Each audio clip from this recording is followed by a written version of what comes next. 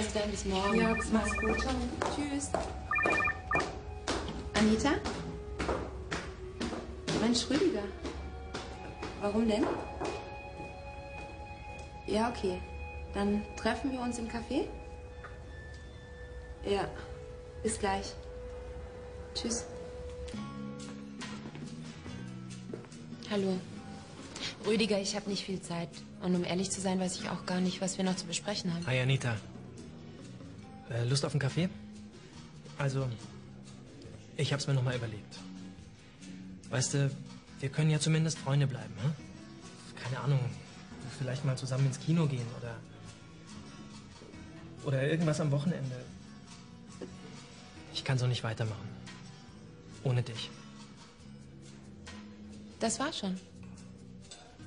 Rüdi, das kommt spät und ehrlich gesagt bin ich ziemlich glücklich ohne dich. Freunde sein ist eine schöne Idee, aber das macht doch gar keinen Sinn. Weißt du, so lange waren wir nicht zusammen und ist doch eigentlich ganz gut, dass sich das so schnell rausgestellt hat, dass es nicht passt mit uns. Ich habe auch einen neuen Freund und deswegen geht das nicht. Verstehst du? Aha. Schade.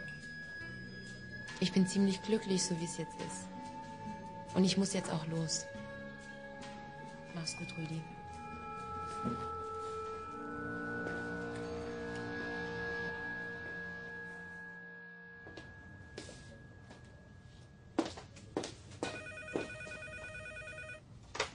Rodders Verlag, Anita Becker. Schönen guten Tag.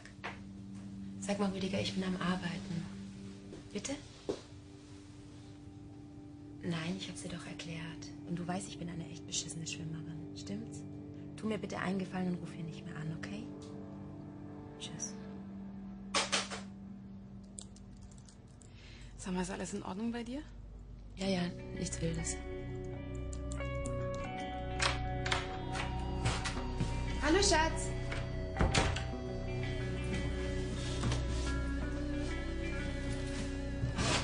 Ist was passiert? Weiß nicht. Frage ich dich. Ich darf dir mal was vorlesen, ja? Anita, ich liebe dich, begehre und verehre dich. Dein Rüdiger.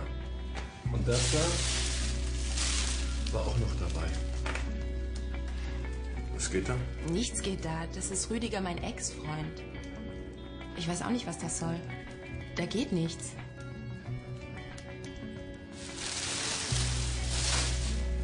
Wirklich nicht.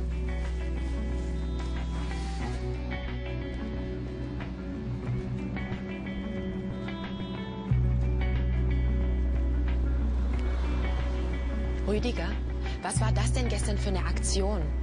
Du lässt so einen Quatsch in Zukunft bleiben, bevor ich ernsthaft sauer werde.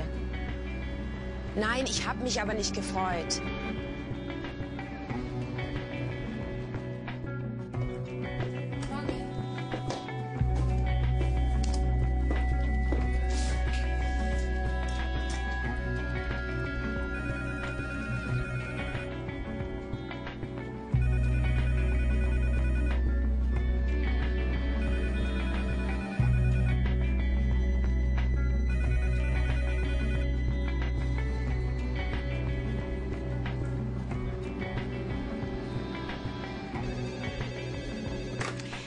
Verlag, Klingler, guten Tag.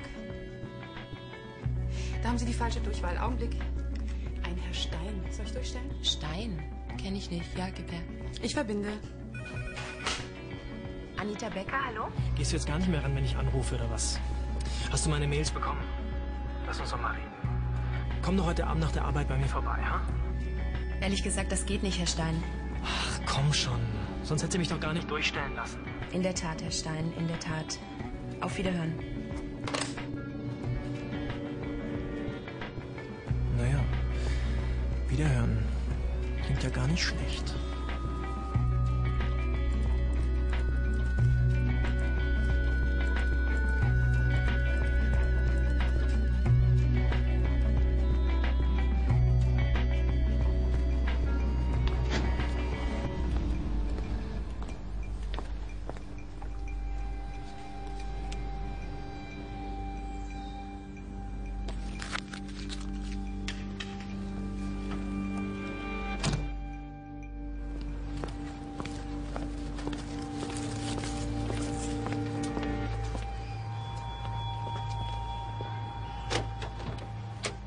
Sag mal, stellst du mir jetzt nach oder was?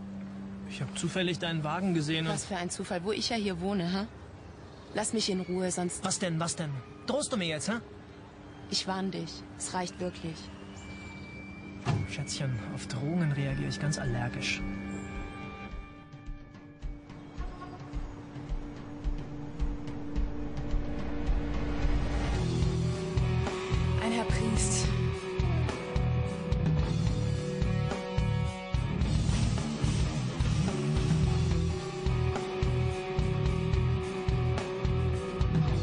Anita, ich bin's Rüdi.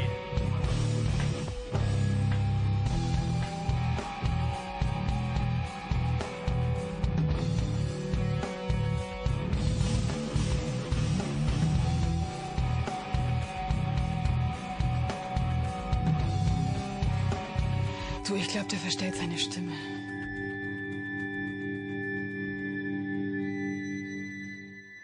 Und die neue Nummer äh, gilt dann ab morgen. Die alte Nummer ist gelöscht und funktioniert dann gar nicht mehr. Wunderbar. Vielen, vielen Dank. Ja. Danke. Danke. So, ich habe die Adresse geändert. Das sollte jetzt klappen. Und die alte soll ich nicht forwarden auf die neue. Nein, nein, ich habe allen Kunden Bescheid gesagt, aber danke. Okay, tschüss. Tschüss.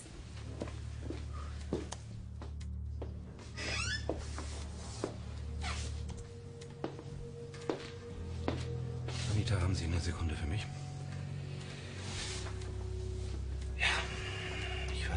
In letzter Zeit los ist. Vielleicht haben Sie ja private Probleme, die mich nichts angehen, aber um ehrlich zu sein, das darf bei der Arbeit keine Rolle spielen. Sie stimmen mir zu, wenn ich sage, dass Ihre Arbeitsleistung in den letzten Wochen, naja, sagen wir mal, sehr mittelmäßig war. Ich hoffe sehr, dass sich das bald wieder ändert. Ah ja, kommen Sie doch gleich mal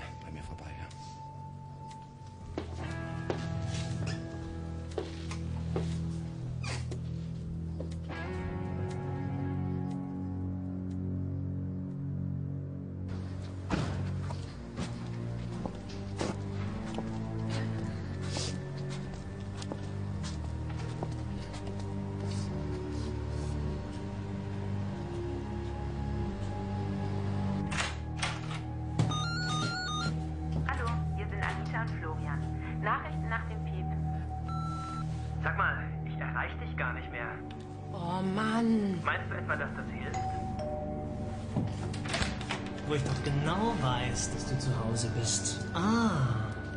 Darf man reinkommen? Dein Pfeifenkopf ist ja noch unterwegs, oder? Jetzt hätten wir beide mal so richtig Zeit. Ich krieg dich schon noch! So. Und dann bin ich zu Ihnen gekommen. Frau Becker, es ist auf jeden Fall gut, dass Sie hergekommen sind. Ich habe jetzt noch ein paar Fragen. Haben Sie denn noch ein paar von diesen E-Mails oder sind alle gelöscht? Ein paar habe ich bestimmt noch, die konnte man gar nicht alle löschen. Gut, dann tun Sie das bitte auch nicht. Je genauer Sie den Vorfall dokumentieren können, umso besser. Ihre Kollegin hat ja auch eine Menge mitbekommen. Meinen Sie, das würde sie auch zu Protokoll geben? Bestimmt, ja. Gut. Ja, so wie das aussieht, haben Sie es hier mit einem zu Neudeutsch Stalker zu tun. Hier greift das Gewaltschutzgesetz. Das heißt, Sie können beim Amtsgericht eine einstweilige Verfügung erwirken, die es Ihrem Ex-Freund verbietet, Sie anzurufen oder ihn zu schreiben. Er darf dann gegebenenfalls auch nicht mehr in die Nähe Ihrer Wohnung. Das heißt, es kann ihm verboten werden, überhaupt mit Ihnen in Kontakt zu treten. Sollte er das dann missachten, macht er Sie strafbar und kann dafür belangt werden. Darüber hinaus können Sie eine Anzeige gegen ihn erstatten. Es gibt neuerdings den Paragraphen 238 Strafgesetzbuch, der vorsieht, dass nun bereits seine bisherigen Handlungen eine Straftat darstellen. Und ich könnte mir vorstellen, dass dieser Paragraph hier zutrifft. Frau Becker, Ihr neuer Freund ist doch jetzt sicher bei Ihnen zu Hause, oder? Ich denke schon, ja. Gut, dann sind Sie schon mal nicht alleine dort. Wir fahren auf jeden Fall mal bei diesem Rüdiger vorbei. Manchmal reicht auch schon ein Besuch der Polizei, um jemanden zur Raison zu bringen. Ich gebe Ihnen hier noch dieses Merkblatt.